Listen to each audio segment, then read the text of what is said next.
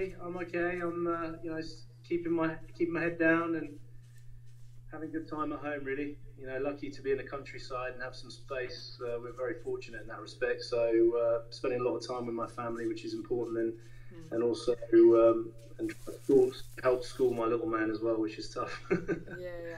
How are you coping uh, in quarantine? With your with your family, you said it's nice, but how, uh, on the other aspect of things like work and fitness and things like that, how are you coping with that? I mean, the fitness. If I didn't do the fitness side, I'd go absolutely out of my tree. I mean, I've got a bit of a gym as well, so I use that and so I've got to exercise. That's a complete, and I'd that's the most, the biggest focus for me at the beginning when I wake up. But um, yeah, the work side of things, a few bits for, for PSA, some voiceover stuff, some interviews, uh, a few little podcasts, mm. bring up stuff. So t- kind of ticking over really, but the most important thing for me is spending time with my family, uh, which I wouldn't be getting to do at this time of year as I'll be on the tour. So great being with my little man. He's five and a quarter years old. He's driving the wall. So, and my wife as well. So, um, yeah, things are okay, mate. We, we could be in a lot worse situation. Thankfully, everyone's healthy, and that's the most important thing. Well, that's great to hear. I'm glad that your family's safe and healthy, and you are too. What age were you when you first started playing squash?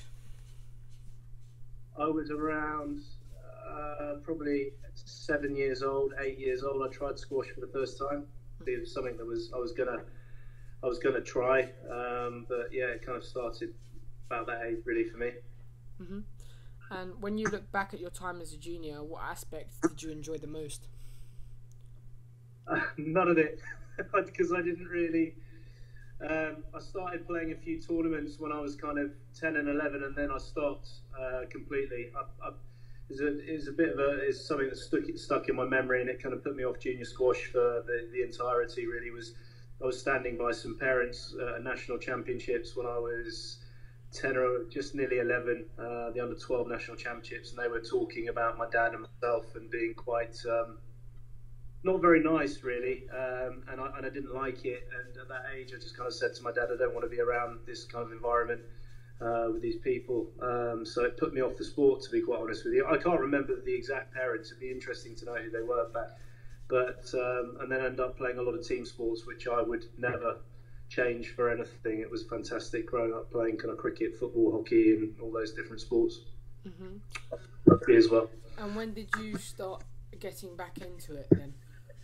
Um, at university, uh, after I, had a, I was, uh, I was partial to a bit of alcohol, as most people are at university. For the first year, I was pretty blurry-eyed and um, drinking a lot of alcohol. And then I remember going down to watch the National League at, down at Edgbaston Priories. I was at Birmingham University, uh, the university there, and that was my local, so-called local club. And I moseyed on down and watched Del Harris chopping up uh, Mark Cairns, and it was very inspiring for me. And I kind of thought, you know what, I want to get back on the squash court and start training and get fit and make the most of my time rather than just drinking and acting like a, a bit of a, a bit of a prat, really. mm-hmm. And who was your junior junior nemesis then? So from your university days.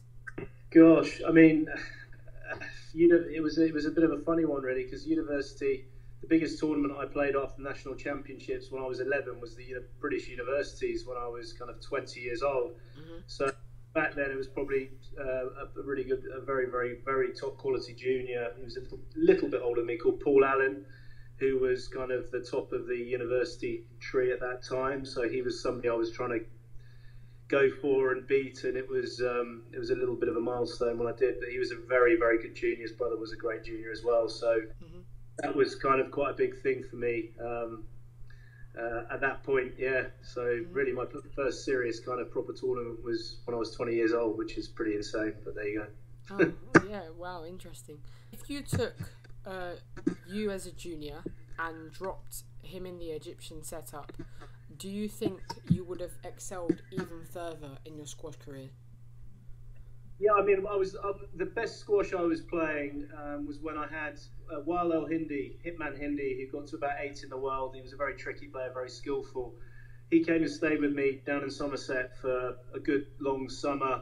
and a bit after that as well. And we trained together every day, and I was able to play practice matches with him, which were ferocious and really high quality. And that's that basically is when I was playing my best squash um, in my career at that time because of the quality of the practice matches. So from the Egyptian side, for me, it would have been the practice matches. Playing those those guys day in day out out there would have been amazing. There's no secret formula. The Egyptians are not doing anything remotely different to to what the other players are doing, but the intensity and the quality of players in terms of practice matches is mm. absolutely brilliant out there. So it would have definitely helped. I mean, I, any advice I give uh, any any any player coming through is, is to get those good quality practice partners. You know, preferably players that are slightly better than you to stretch you a bit more.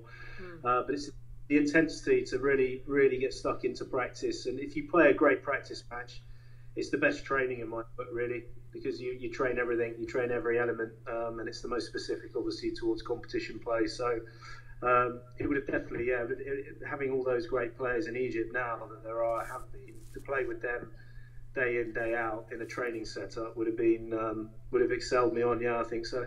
Mm-hmm. Away from your junior career now, a bit more towards your professional career. Uh, did you have any reservations about becoming a professional? Yeah, I, I, I never. I, I, only literally decided I was going to become professional when I was about um, turned professional. I was about 21. It's ridiculously late. I never set out to. I never set out to be a professional squash player. I had a, uh, a cricket uh, career that I was going to pursue. I had a, a, contract when I was 16 with Somerset, and I injured my back and went back and did my A levels. So, I, you know, it wasn't on my on my route map to become a professional squash player. It was bizarre the way it happened, and it was I would say the reason this happened was going to university for the reasons I said earlier. Mm. If I if I hadn't gone to university and drank and then kind of felt a bit guilty gone and watched some squash down at Edgbaston Priory, I'd have never been on the PSA World Tour. It's weird. What was your breakthrough tournament then as a professional? Uh, my first tournament I won was in uh, in Canada in Ottawa, and it was I, I played my usual rounds of some very very long matches. I remember playing Eric Galvez, who was a top top player back in the day from Mexico. He's very fit, and I beat him in a five games, and then I had another five games in the semi, and I I played this uh, Australian, very experienced Australian called Mike Corren in the in the in the final to win my first event, and um, and I, I, beat him 17-16 in the fifth. Uh, saved, saved a couple of match balls. This was before the 11 scoring so it was over a couple of hours. And I remember serving at his body uh, on match ball for me, and, and it hit the back wall net.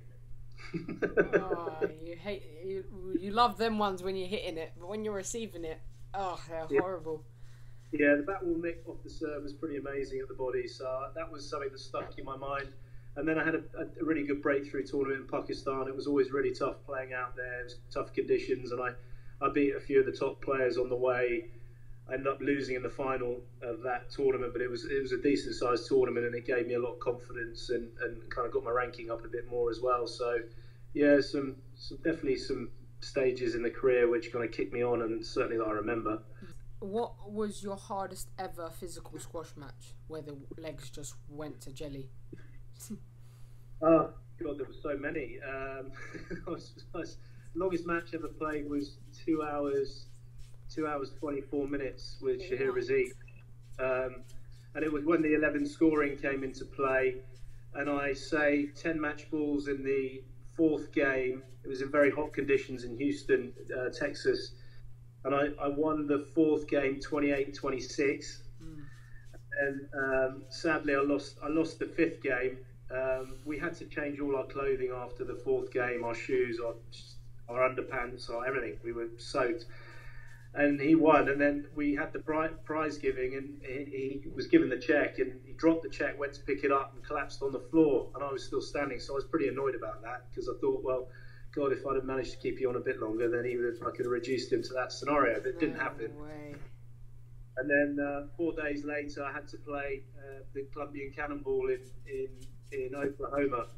Really hot conditions there. Four days later, after playing that marathon tournament and match in Houston, and I, I, beat him in just under two hours in four games. So I was renowned for playing very long matches. I wish I could have put the ball away a bit quicker at times. it was uh, it was quite hard physically and mentally. Yeah, yeah. And then, and then in contrast, then mentally, what what has what was your hardest squash match?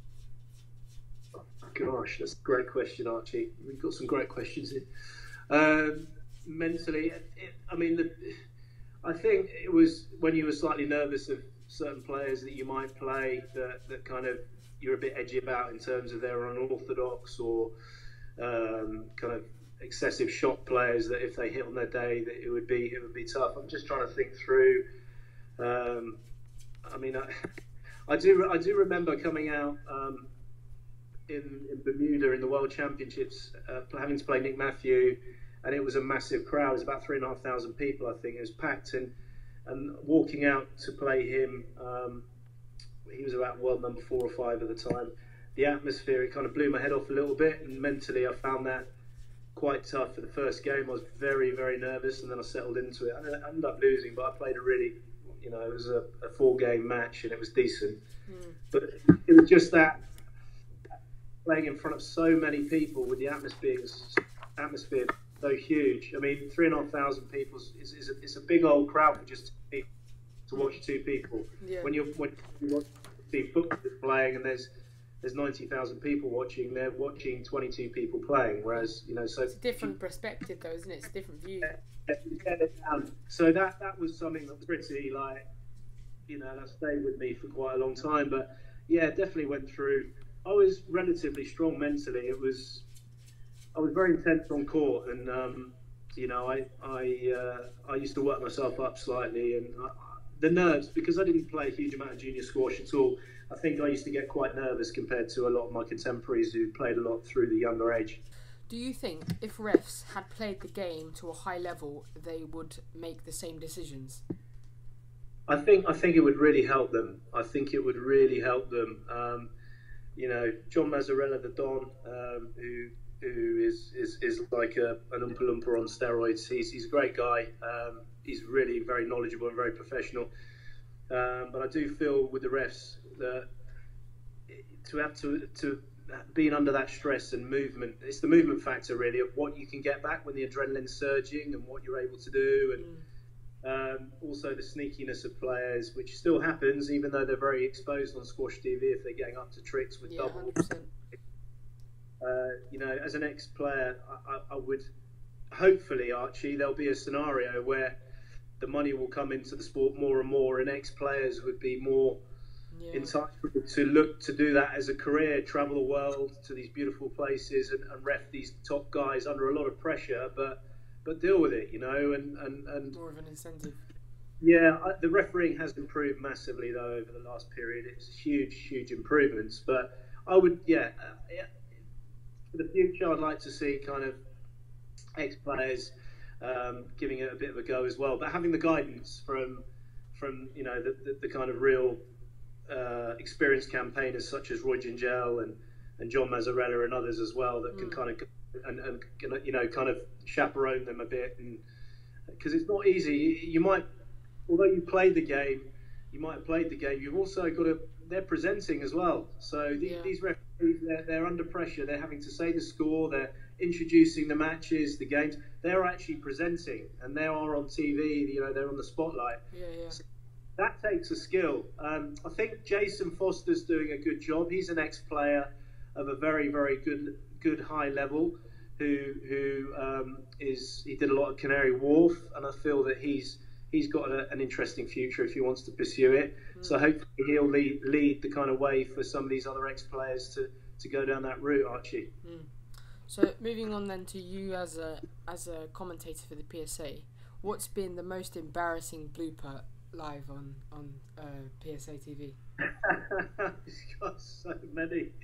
oh, goodness me was, there's been so many. Um, uh, I mean, I, I, don't want to go into too many secrets, but I hmm. mean, I think I think that you know I've got a thing with names, so I'm I'm relatively tuned in with names, but I've always always had the giggles when people get names wrong of people or get the wrong person yeah. name. It's always something that sends me over the edge. I mean, I have had um, with with PJ particularly multiple times where we are battling like there's no tomorrow to to not completely and utterly, you know, uh, soak ourselves in laughter tears um, live on camera. Yeah, yeah.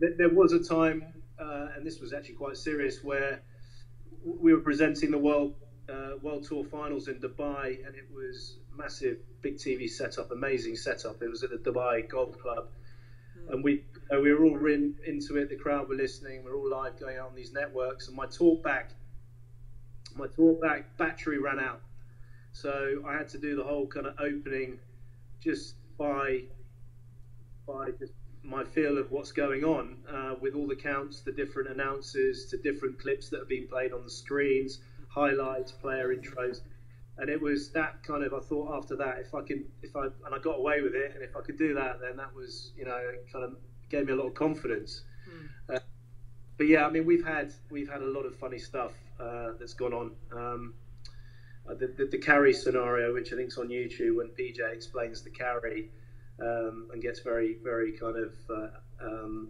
uh, sidetracked with the carry. That, that I'm just basically howling with with laughter as he's trying to be serious. So I mean, that's that's going live on TV. So um, uh, you know, it's it, you've got to have that bit of fun. You know, you've got to yeah, get yeah. your marks, but you've got to have fun because it's it's a sport at the end of the day, and um, you need to have a bit of a sense of humour, otherwise things get a bit desperate.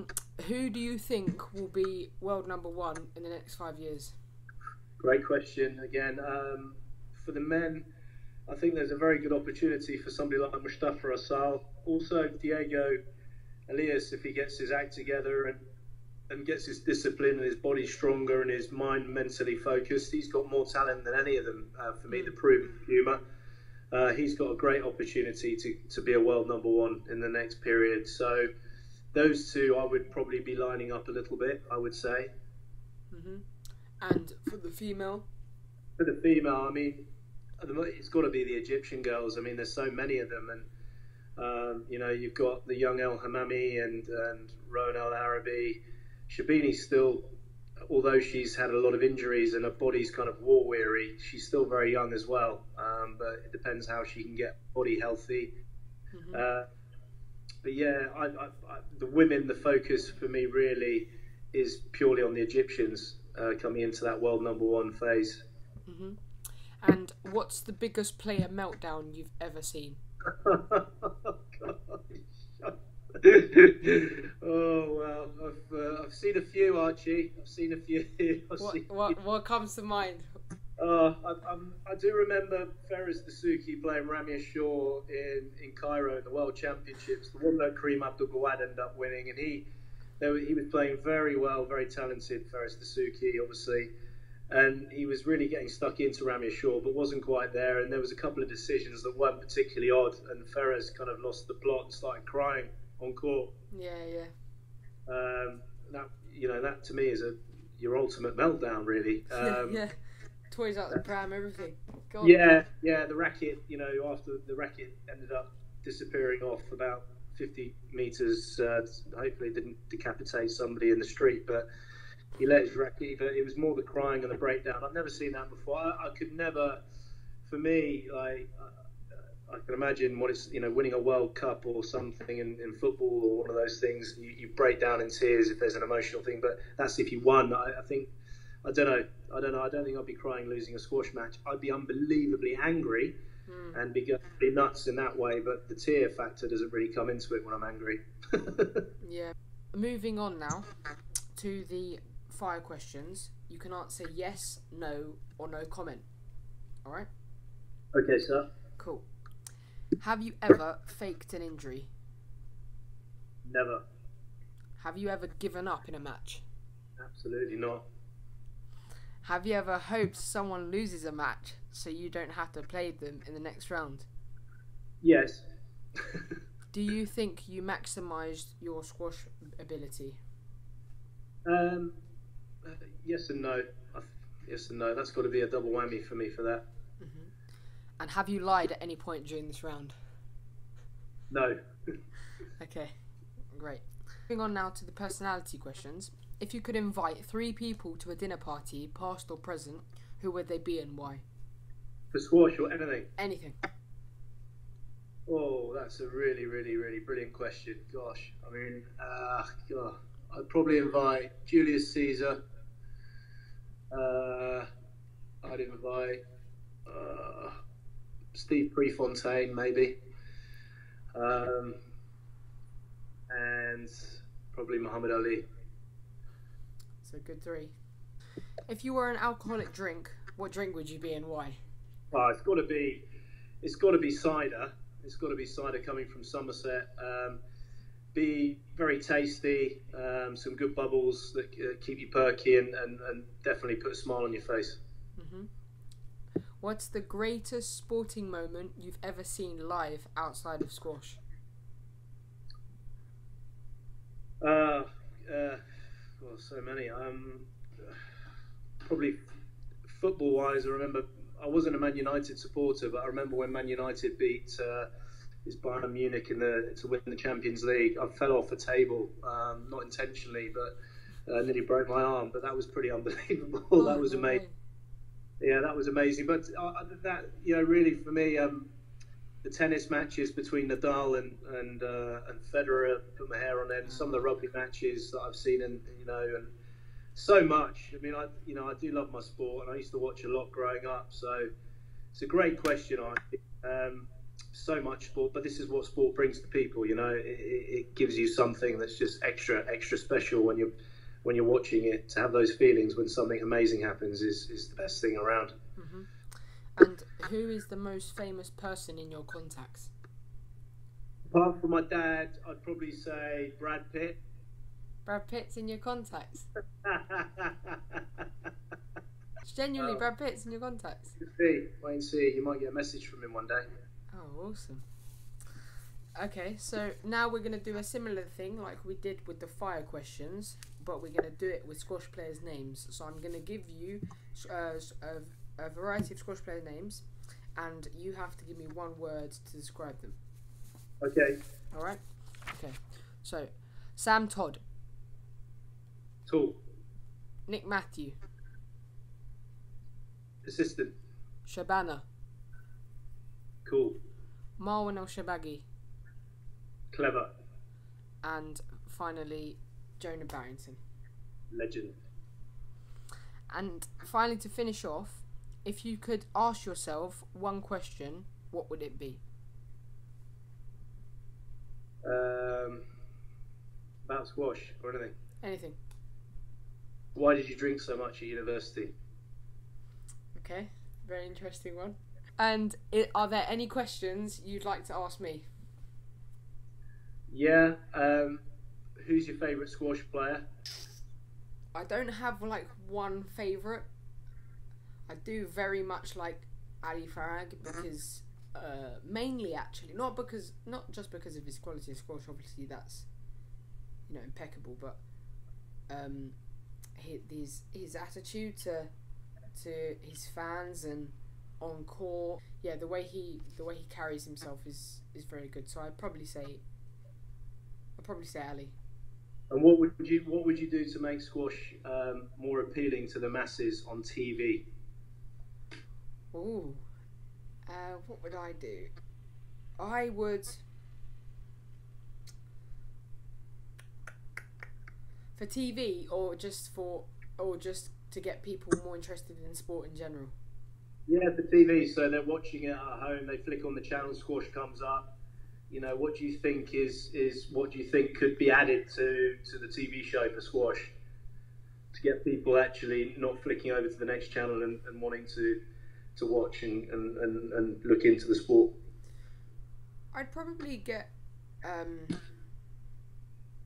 something like this on the channel uh, as like a separate series for PSA, and I mean that in terms of you know for uh, for juniors, and I've said this I said this a couple of times in the interview, but for juniors watching this who who you know like not even playing squash who love racket sports and um, maybe interested in squash or have seen squash and you know looked over it but then watched this and then thought a bit more about squash. I think that's really good uh, for pushing the pushing the sport forward in terms of the popularity of the sport. Um, because I genuinely do think um, words words like these do mean a lot to people my age and even younger juniors watching this, trying to make it through and make it through as a as a professional or just or just trying to play the sport in general. Cool. Yeah, I agree with you. So, guys, that is the end of the interview. Thanks so much for watching. Thank you so much, uh, Joey, for joining me today. And as per usual, please don't forget to like, subscribe, and turn on post notifications so you don't miss a future video on this channel. Joey's socials will be linked in the description. Uh, PSA will also be linked in the description. And uh, yeah, I will see you guys in the next one.